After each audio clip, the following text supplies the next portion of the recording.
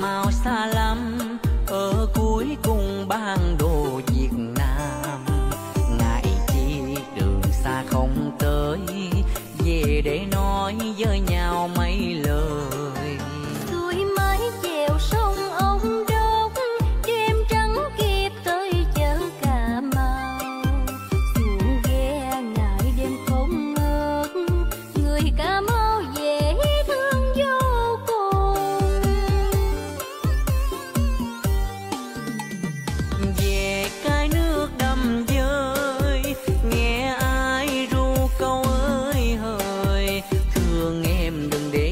lỡ thời. Tội nghiệp ghê nghe sắc xe con tìm